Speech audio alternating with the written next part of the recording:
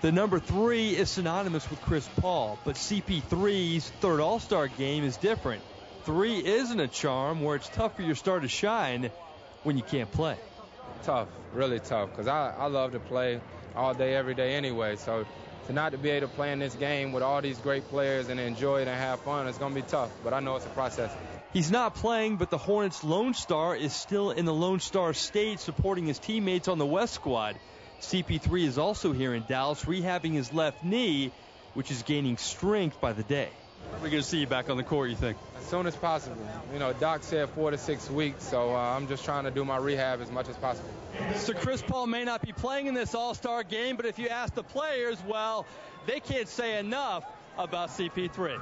He just doesn't have any weaknesses, man. I mean, he's, he's tough, he's, he's hard nosed.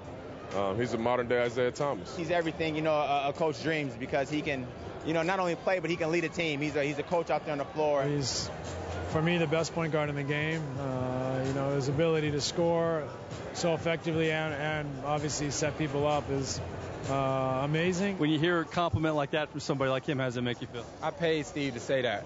You know what I mean? So now I gotta now I gotta figure out how much that's gonna cost me. He just got the heart of a, of a champion. You know, he just doesn't back down from anything. You know, you can say he has a small man's complex because he just he just has a chip on his shoulder. It's helped him though, right? Yeah, because he is small. I've been undersized my entire life, and that may be why you know, I play so mad and frustrated and stuff like that. But all in all, I just want to have fun, and most of all, I want to win. He's a winner, so, you know, he's got all the attributes, and he's going to have a phenomenal career. So Paul has respect from his peers and bragging rights to boot. He's the only All Star who can say he lives in the home of the Super Bowl champs. This from a Super Saints fan. Excited, excited. The city is crazy. Um, I think it may be the biggest thing that ever happened in New Orleans right now. The way it brought everybody together and. Uh, that team and those guys, they all deserved it. Hornets fans feel they deserve their man back soon. Chris Paul hopes to oblige sooner than later. In Dallas, Mike Nabors for CST Tonight.